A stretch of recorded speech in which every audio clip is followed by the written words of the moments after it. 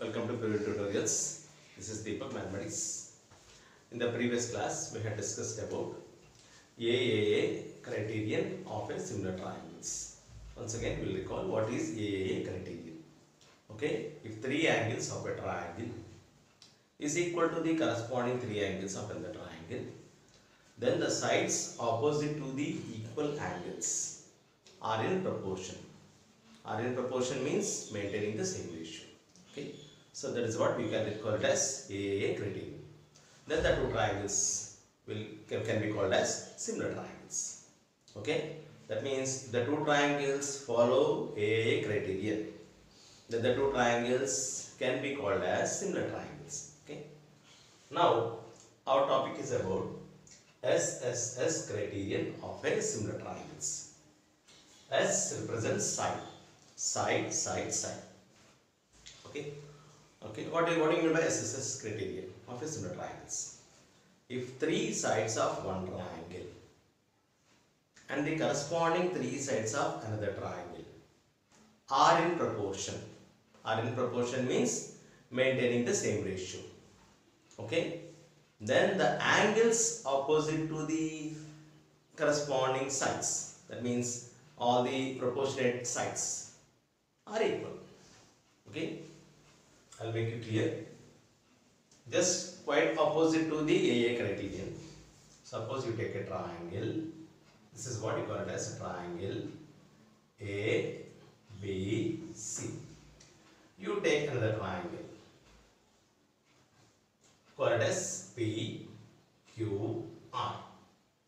Suppose it is given that AB by PQ AB by PQ is equal to BC by QR.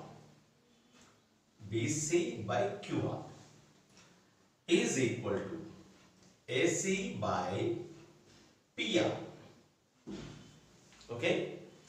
AB by PQ is equal to BC by QR is equal to AC by PR. AB by PQ gives a ratio. That ratio is equal to BC by QR. Okay, that is equal to AC by PR. That means the ratios are equal. Okay, so we call it as proportionate sides. That means the sides are in proportion. Then the angles opposite to the these sides. That means the sides which are in proportion are equal. For example, you take AB. What is an angle opposite to AB? This is AB. Angle opposite to AB is angle C. Now take PQ. This is PQ. Angle opposite to PQ is angle R. That means angle C is equal to angle R. Okay, next.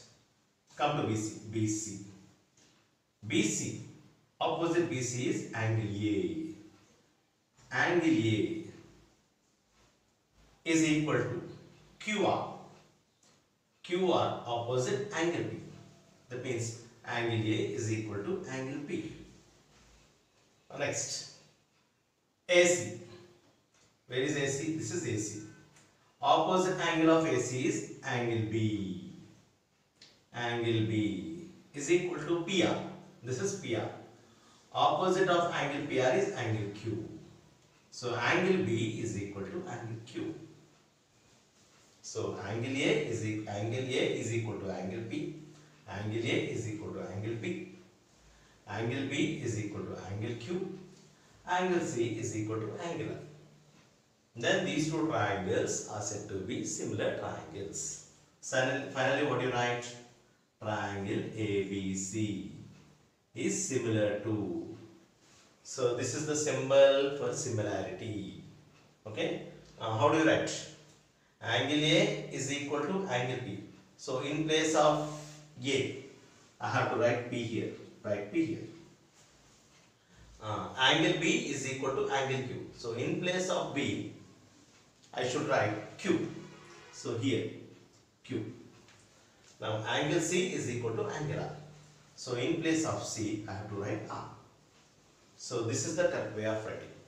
Suppose if you write triangle ABC is similar to triangle QRP, something like that.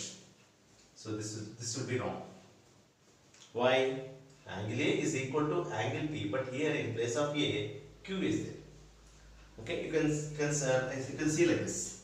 AB. AB by PQ. In place of AB, PQ is there. Now see the next one. BC. BC by QR. BC by QR. So in place of BC, it is replaced with QR. Now AC. This is AC. AC in place of AC, PR is there. AC by PR. So this is the right way of writing. This is the wrong way of writing. Okay. Triangle ABC is similar to triangle PQR. Okay. We'll take one more example for more clarity.